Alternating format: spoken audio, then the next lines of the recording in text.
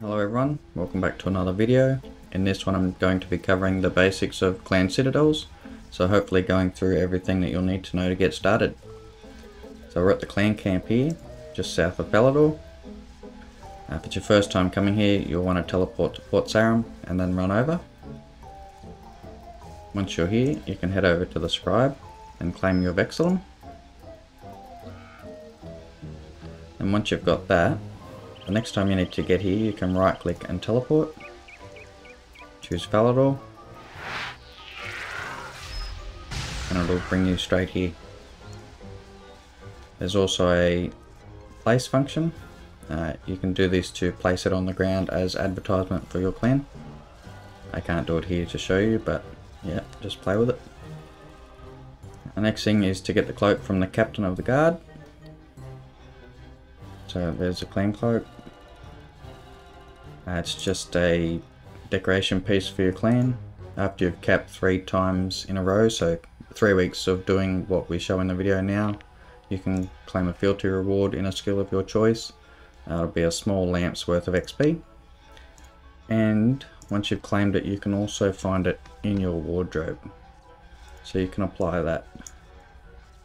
So it'll show up however the owner has customized it for the clan. Uh, the three stars are the fealty, so once you've got the three stars, you can claim that fealty reward that we just talked about. And I think that's it for outside, so we'll head inside. Right click the teleport option, quick teleport. So once you're inside the Citadel, your mini games tab should have opened automatically. It will display your resource cap, so that's how many resources you've gathered compared to how many you can gather.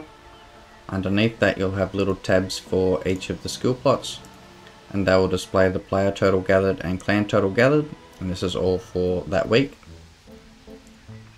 Next up Citadel information found where the world map usually is, just click that to open it up. On top of this interface you'll have the time to the next build so this is when the Citadel will upgrade and use resources that have been gathered. To the right of that you've got the visitor count, so this is how many people that have visited the Citadel this week. Not necessarily finished their cap, but they've just came in and gone out at least to count as a visit. Under that we've got the Citadel map, so you can use this to teleport around to each of the different skill plots instantly. On the left of that we've just got a bit of customization for the clan owner or people that have permission to adjust the way that the citadel looks, day and night cycle and different layouts. Next up we have the buildings interface. And again this is for the owner or people that have permission to perform upgrades or downgrades.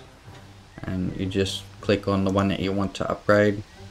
Click on the upgrade and you can perform it from there. Shows you how many resources you need Obviously we've already marked it to be upgraded because we're moving for the next tier at the moment. Next tab is the customization tab.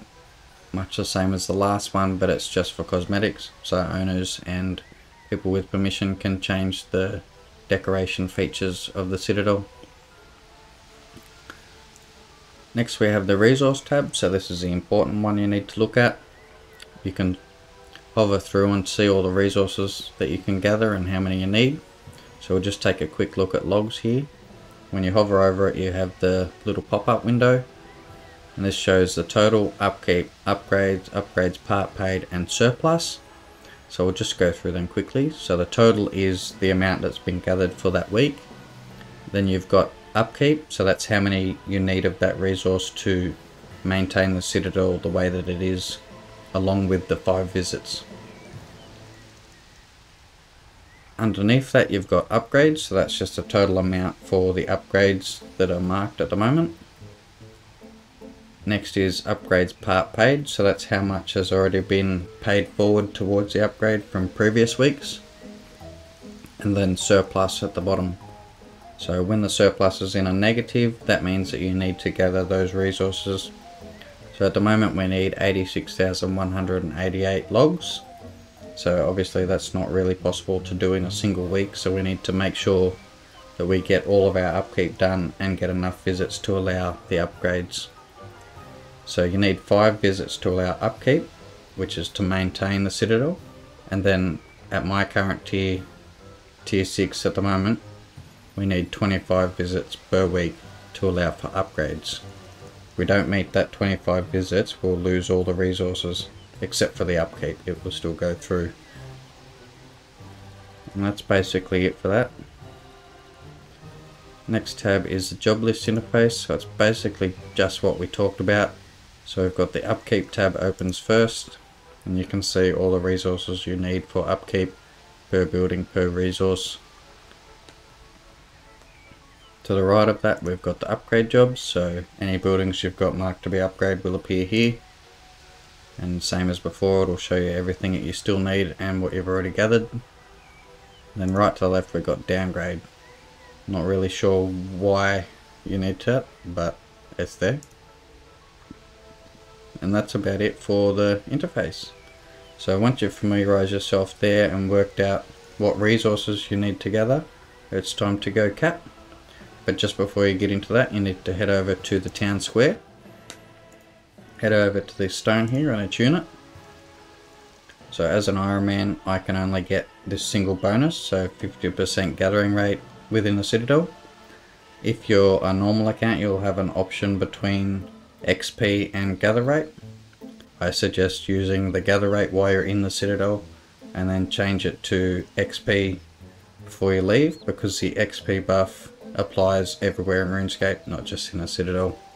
So it's a good thing to have. So once you got that on, you can head over to the skill plots and start gathering. So I'll just teleport around to each of the plots to show you quickly. So this is a wood cutting plot. You just gather it, it's a raw resource, you don't need to refine it or do anything. You basically just chop the roots there. Next one is the mine. So it's got stone, which is a raw resource, you don't need to refine it, just gather it. And then above that we've got precious ore, and then on the other side there is regular ore. Um, and the precious and regular ore need to be refined at the furnace. We'll just head over to the kiln first. So the kiln here is used to make charcoal and the charcoal is used to power the furnace. So the furnace over here requires charcoal and the ores to make bars. The kiln, however, doesn't require wood. So when you make charcoal, you don't actually burn wood. But when you make bars, you burn the charcoal. If that makes sense. Okay. Next, we'll head over to the obelisk skill spot. So basically, this is a summoning one. Uh, it's got a fairly low cap on. I think you can only gather 200 from it and it basically makes minions that help gather other resources. I tend not to worry about it, I don't really understand what it does, but it's there. Next up is the loom. So this plot makes cloth, and it's a raw resource, you don't have to do anything else with it to get that made. And then we've got the barbecue over here. So basically you make rations with that and it's also a raw resource, you don't need to refine it or do anything with it after that. Only bars. So the bars here require the charcoal and the ores from the mining plot. And yeah, I think that's about all there is that I need to explain. So once you've finished gathering and you've hit your resource cap and you've gathered as much as you can, I think it'll be a thousand for the first tier. It's going to depend on the level of your citadel. But once you've finished capping, you can head over to the keep here. Just pop inside through the door. Around the corner on the left here. You can right click the quartermaster and claim XP.